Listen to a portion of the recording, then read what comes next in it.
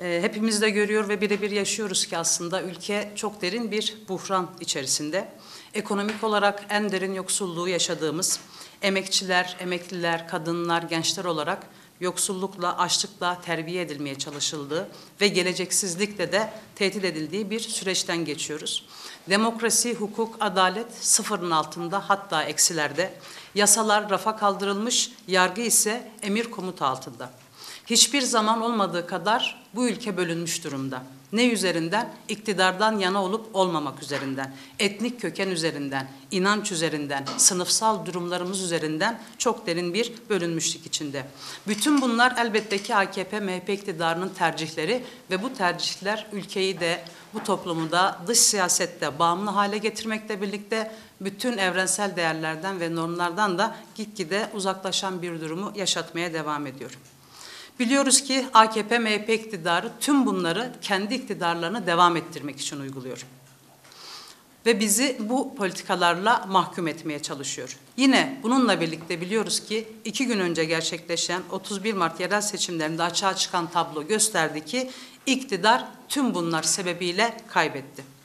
Bütün bunlardan ders çıkarılması gerekirken taşımalı kolluk güçleriyle, emir komutu altındaki kolluk güçleriyle, şantaj ve tehditle iktidar seçimi kazanmaya çalıştı.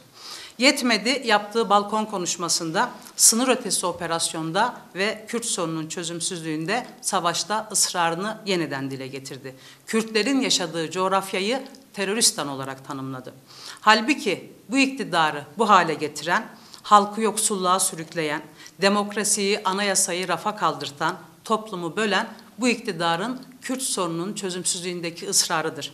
Çözüm sürecini rafa kaldırıp muhatabı olan Sayın Öcalan üzerinde ağırlaştırılmış tecrit uygulamalarıdır. Ama biliyoruz, ifade ettik ve etmeye de devam edeceğiz. Ee, Kürt sorununu çözmeyen çözülür dedik ve bu seçimin sonuçları da esasen bu tecrübeyi yeniden teyit etmiş durumdadır. Bizler açısından en büyük mücadelemiz, bizler açısından öncelikli mücadelemiz Kürt sorununun demokratik yöntemlerle çözülmesi ve onurlu kalıcı bir barışın sağlanmasıdır. Bu bağlamda uzun bir süredir Avrupa'da, Orta Doğu'da ve Türkiye'de çalışmalar, kampanyalar yürütülüyor.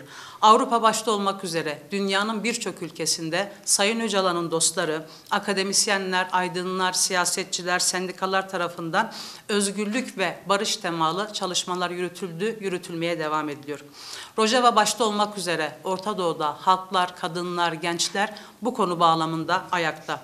Bizler de burada 1 Şubat ile 15 Şubat tarihleri arasında bir özgürlük yürüyüşü gerçekleştirdik. Her köyde, her ilçede, her ilde karşılaştığımız sahiplenmeyle büyüyen yürüyüşümüz elbette ki devam ediyor. Cezaevlerindeki siyasi mahpuslar Aynı konu bağlamında açlık grevinde anneler uzun bir süredir adalet nöbetinde. Bütün bunların sonucu olarak 8 Mart'ta Jinjiyan Azadi ile özgürlüğü haykıran kadınlar, 21 Mart'ta Nevroz alanlarını dolduran milyonlar halkımız tek ses olup demokratik çözüm için ve Sayın Öcalan'ın özgürlüğüne kavuşması için çok güçlü bir irade ortaya koymuştur. 31 Mart yerel seçimlerde de bu iradenin kendisi tecritte, savaş politikalarında, çözümsüzlükte ve kayyum rejiminde ısrar eden AKP-MHP iktidarını reddetmiş, demokratik çözümde ısrarını vurgulamış ve Sayın Öcalan'ın çözüm iradesini en güçlü şekilde sahiplenmiştir. Barış ve özgürlük talebiyle gerçekleştirdiğimiz bu yürüyüş 4 Nisan'da da Amara yürüyüşüyle devam edecek.